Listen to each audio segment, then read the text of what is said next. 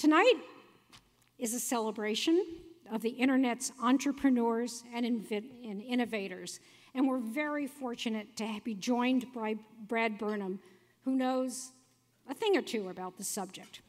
Aldous Huxley once said that at first appearance, innovators have generally been persecuted and always derided as fools and madmen.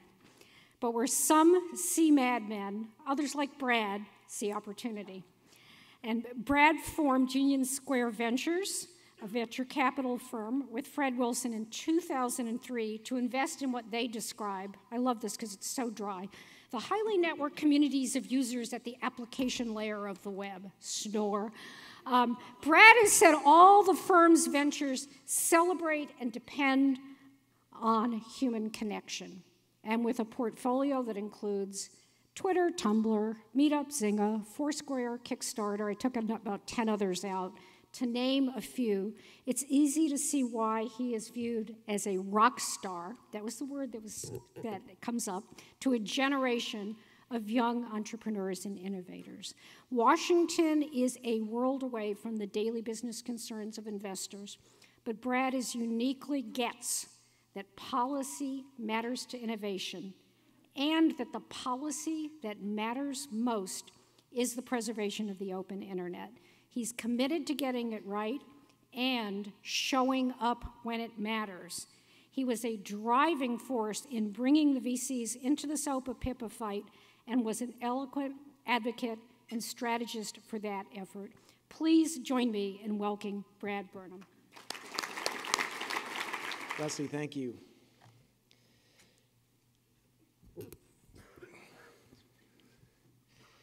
She was right. I can't see anybody out there, so I, am not nearly as intimidated as I thought I was going to be. I am honored, but also a little surprised to be here.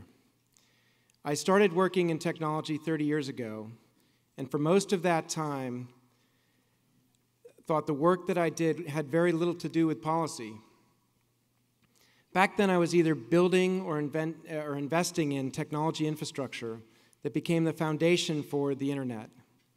In the last several years, however, the investment opportunity has shifted from infrastructure to the applications and services that ride on that infrastructure.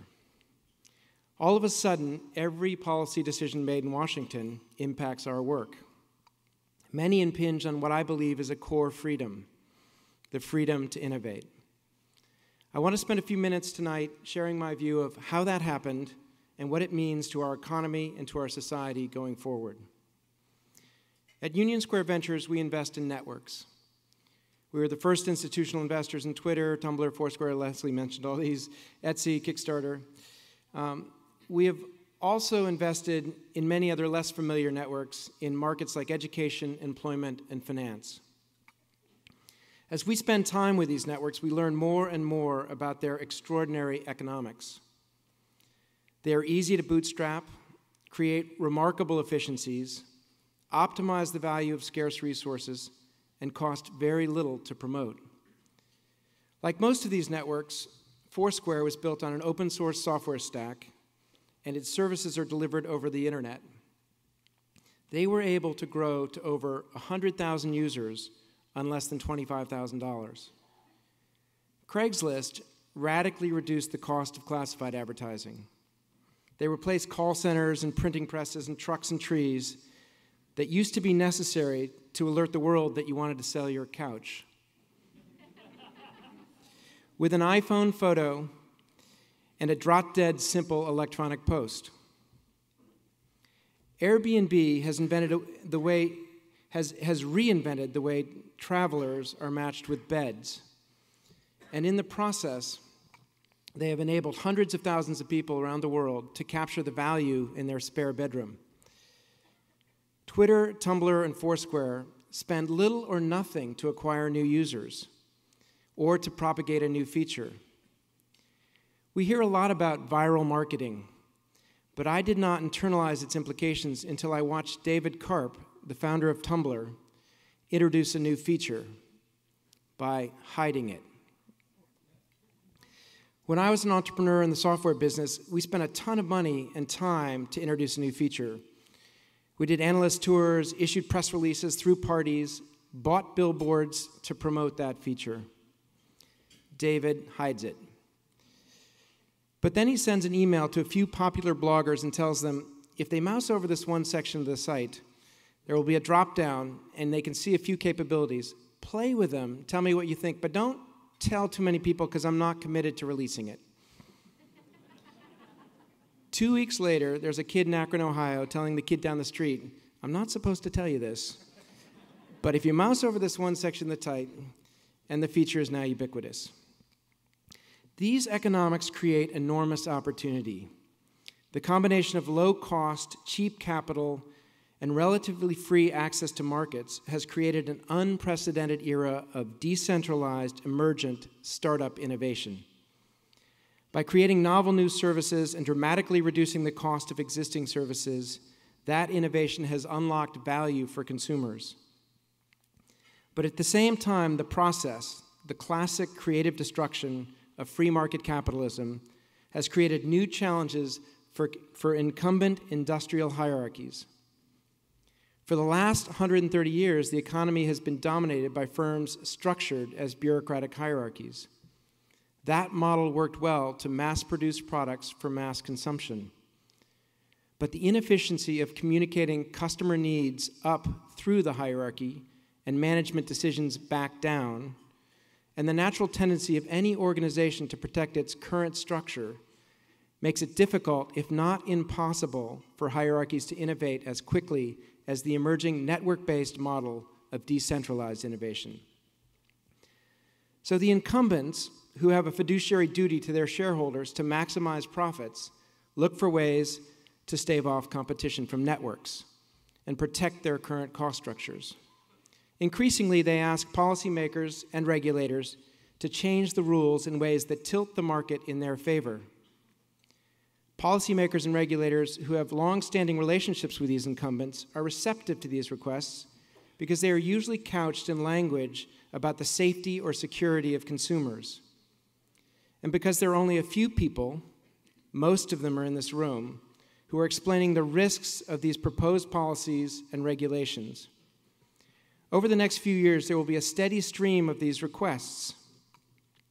The hotel lobby in the city of New York has already convinced the city council to outlaw temporary hotels. The bill was presented as a consumer safety measure to prevent slumlords from turning dilapidated tenements into squalid, unsafe hotels. The council members never considered the bill's impact on Airbnb, but the hotel lobby knew exactly what the proposed language meant. The Research Works Act played out in a very similar way here in Washington. Its original sponsors understood it as the elimination of a government mandate that forced researchers to embrace a specific business model. The academic publishers who sponsored the bill knew very well that it would slow competition from open access journals. I could go on and on. Telecom companies asking regulators to impose new burdens on Skype or toy manufacturers asking regulators to force Etsy sellers who make hand carved wooden toys to be subjected to a rigorous certification process that only makes sense for large manufacturers. The point is that we have to step back and see these policy proposals as the inevitable byproduct of the transformation of our economy. We have to see them as part of the competition between the bureaucratic hierarchical model for the creation of economic value and the new emergent economics of networks. We need to be smart enough to recognize that it's not consumers asking for these regulatory or legal restrictions, it's the incumbents. We need to defend the freedom to innovate because it is critical to the health of our economy. Our economy is today one of the most innovative and friendly, innovation friendly economies in the world. Until recently, no one investing in or creating a business on the internet would have considered building their business anywhere else. But the recent enforcement actions against Mega Upload and Jotform have forced entrepreneurs and investors in internet services to rethink where their businesses are based. I don't know the particulars of the Jotform case, and it is very hard to defend the behavior of the Mega Upload founders. But it is also impossible to ignore the fact that the site takedowns made it impossible for hundreds of thousands of people to get to completely legitimate content that they had stored on those sites. In the weeks that followed those takedowns, every one of our portfolio companies had to reconsider where their users' data is stored.